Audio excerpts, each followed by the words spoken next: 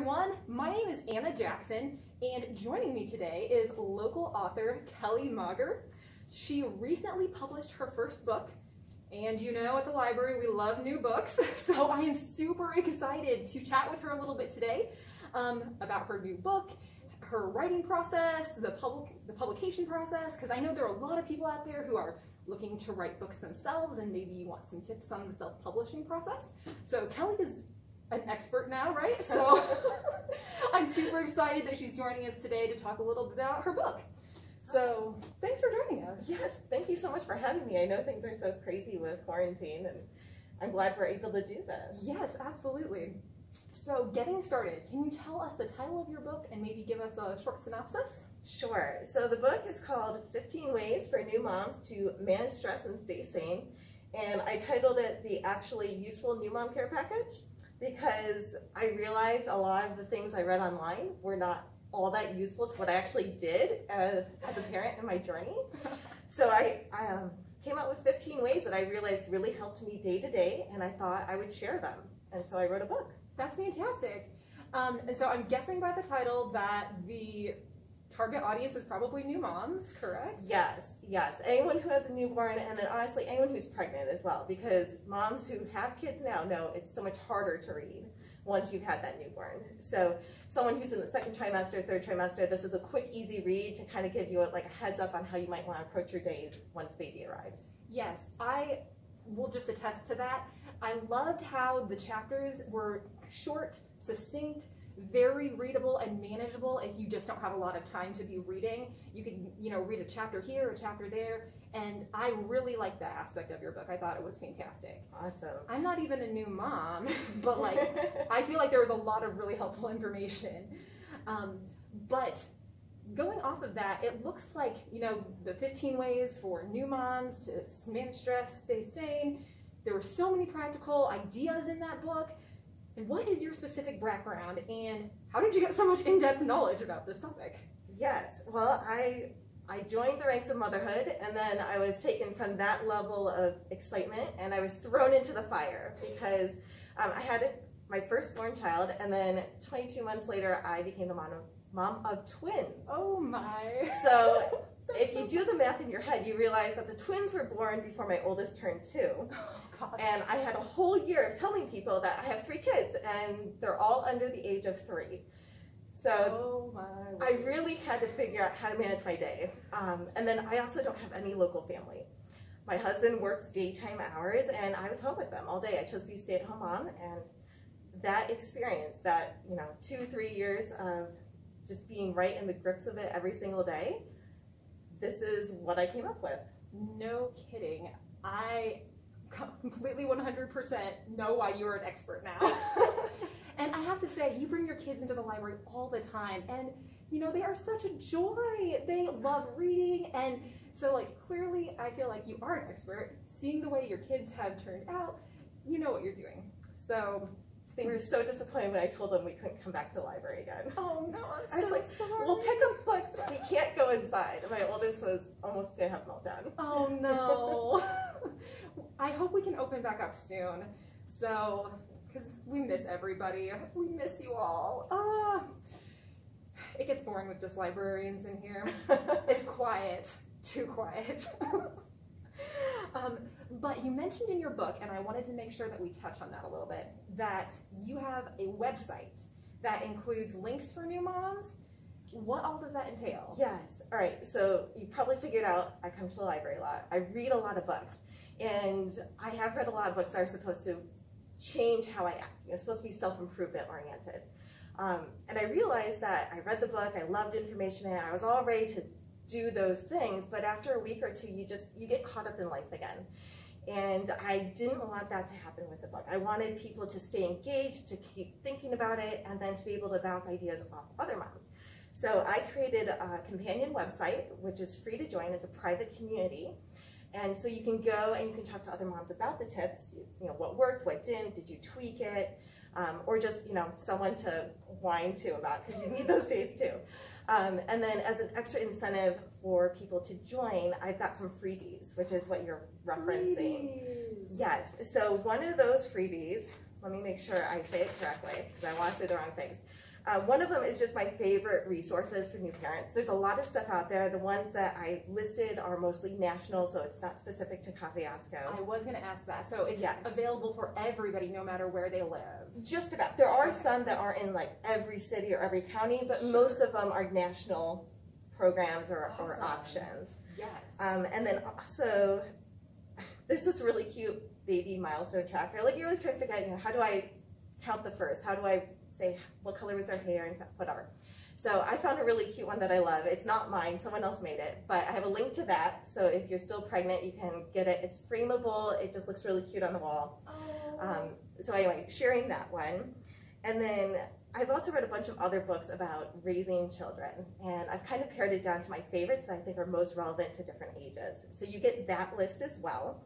And then the final one, kind of going back to the book, is I have a mental reframing exercise. So the days that you're just worn down, you don't have that support network you can lean on specifically, you can kind of go back to that and reassess how you're how you're feeling mentally Mhm. um, and how how to maybe go forward with the rest of your day. Awesome. And we will definitely put a link to that website in the video description. So if you're like, oh, shoot, I forgot what that was, um, there will be a link in the description below.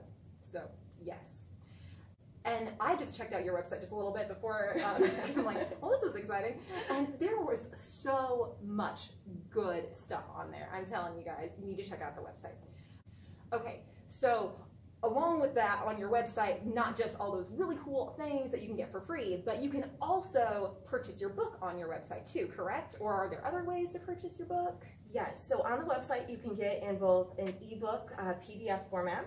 You can also get a paperback copy. And then the website also has resources to buy it from your favorite retailer. So if you always use Apple, or you always use Kobo, or you always shop on Amazon Kindle, um, it's got those specific links so you can find it directly there.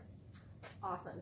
And just so you know, the library does have a copy available on Overdrive if you read ebooks, and we also have a paper copy on order right now. Paper copies always take a little bit longer to process than e-copies, so if you want to read a paper copy from the library, uh, give us a few weeks for that. or just go buy one. So both options. both options, totally available. I'm sure if you wanted one signed, we could work something out, right? Absolutely. Yeah, autographed copy. Yes, autographed copies are good. so, but going on um, about your book a little bit more, why did you decide to write a book in the first place, and why did you choose now to do it? I mean, you sound like you're a very busy person. It's still very busy, um, but I must. I bet you can guess the first reason. I had a lot more time at home. Um, all my evening activities were canceled, and I realized that sitting in front of the TV seven days a week every week was not the best option. Thanks, COVID. Yeah, so I was like, what else can I do? And then, as I feel like every bookworm has a secret hope to one day publish their own book. You Like- read my heart. My bucket list, like maybe one day, and I've always had that, but I don't have the next Harry Potter novel in my head. So instead, I decided to write what I know, which is usually what people say to do. yeah. Um, and so I wrote this book. The timing, reflecting on it, I think was perfect. Um, my boys just turned two, my youngest, my twins, right when I decided to do this. So I had the perspective of being in the trenches still, like all that was still fresh, but they were also old enough now that they were a little bit more independent. I felt like I had a breathing space to be like, how do I want to focus my time? yeah. Um, and so I kind of used that to my advantage. Well, I'm super impressed that you were able to write such a like interesting, helpful book while still in being in the middle of that time period. And you know, you'll talk about everybody wanting to write books. The only thing I know is like books again, like shelving them or putting them in order. And so I'm like, I don't think anyone wants to read that. That sounds terrible. Yours is actually practical. So, oh, fun, fun. Um, but so as you're in the middle of writing this book, the process, publishing, I feel like is a very confusing market. And I know there's a lot of people who have wanted to write a book all their lives or have had multiple, you know, um, storylines going through their minds, and maybe they've even written them, but just finally getting around and trying to publish it is very intimidating. There's It so is. many self-publishing companies out there. How do you choose one? Can you tell us about how you went about publishing your book? Sure. So I knew up front that I wanted to have control over the most of the process. And I'm saying that partly because I want to be able to tweak it if like I found a typo later. I always hate when I read a book. I was like, oh, I wonder if they know about this typo. Can I like write into the you know company? So I knew I wanted to be able to tweak it if I needed to in the mm-hmm. future. And I also knew I didn't want to spend a lot of time just managing that process. Um, and then the final part was I wanted at least the option to have it in ebook and print. And there's a lot of places out there that will do one or they'll do the other or they will do both, but they'll charge a fee up front. Yes. And that was the other thing I wanted to avoid. I, I really didn't want to spend a lot of money until I knew how the rest of it was going to work. So I ended up, after doing all that research and kind of going down the rabbit hole in a few different places, I went with Draft 2 Digital. Draft 2 Digital. Yeah, so the okay. word draft, the number 2 mm -hmm. and then digital. We can probably put a link to that down in the description as well. Yes. So they, as you can probably guess from the name, they were founded off of the ebook platform. Sure. Um, but I found it so helpful because A, there's no upfront fees. They only get paid if your book actually sells. Gotcha. So it, it's kind of more of like a commission-based structure. Oh, sure. Um, and then they also have a platform you where you can decide the price and you can decide where it gets published to. Really? Yes. So I could have said I don't want libraries to have my book. I don't know why I would, but that was Thank an option. um, I could also say like I only want it published in the U.S. versus internationally. Oh wow! Um, it, it, gave you a lot of control over that. I didn't I realize was that was even an option in the ebook publishing. Yes. Well, and apparently you can change the price based on the market you're in. Oh my word! So if I wanted to charge a different price in Germany, I could do that. Wow. Yeah. So I just when I learned and I kind of got involved with that, I was like, yeah. this is the way to go. I have one account; they do everything for me. Once I hit, you know, click for publish, they'll do all the distributing, they'll handle all the sales, and then I'll get royalties after they get paid. Sure. And that kind of allows me the time to say, try to market the book, and then yeah. put my focus back on the kids. So didn't uh, maybe I misunderstood this. Does Draft 2 Digital do the marketing for you, or do you kind no. of handle that? Okay, yes, that's what I thought. Yes, getting getting people to learn about the book is definitely my part of the process. Sure. Perfect. Understand. Um, man, though, that sounds so ideal, having all of that control and having the options. Um, libraries, other countries. Wow.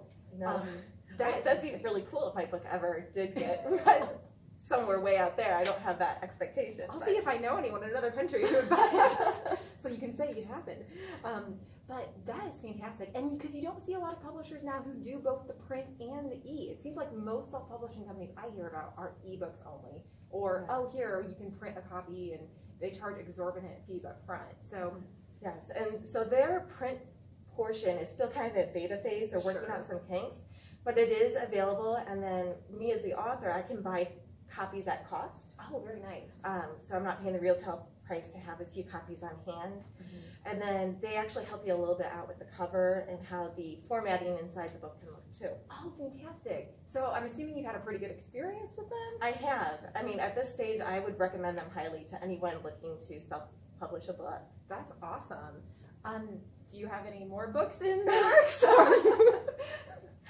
right now, my focus is on this one. My mother-in-law actually said she thinks I'd be great at writing a kid's book next, oh, but yeah. we'll, we'll see about that one. Sounds good. Well, we'll be waiting um, on the edge of our seats. Do you have any other advice that you would give to anyone who is looking at self-publishing their book or looking to start writing something? I would say it's worth trying. You know, don't let fear hold you back. Hopefully you feel confident in my answers. Like use Draft 2 Digital, for example. Make that process easier, a little bit less uh, overwhelming.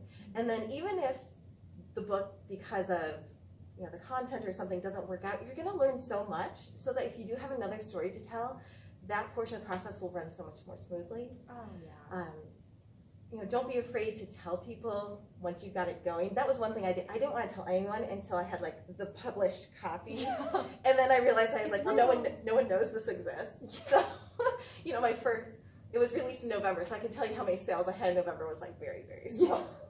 so maybe advertise it a little bit sooner, and then I feel like the library is just a wonderful resource if you have questions. And it talks about like reshelving books they know what gets read. They Oh, yes. see what gets taken out, you know, cover design or just genre if you're not sure what area you want to tackle. Well, thank you for that plug. Um, and if you read Kelly's book, she does talk about the library a lot in her book. Thank you so much I, for that. I may have a crush on the library, I don't know.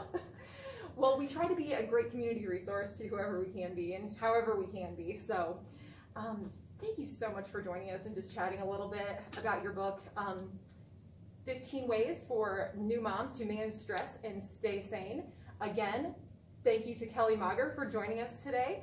If you have any questions about her book, feel free to contact the library. We have her email. We can get you in touch with her, and we'd be happy to share any more information about her book. Like I said, it is coming in physical form very shortly. There is a wait list on the Overdrive copy. I know this because I tried to put myself on hold for it, so you may have to wait a little bit for that one as well. But there are definitely options. Check out her website. There will be a link in the description down below. Thanks for joining us today. Thank you, Anna.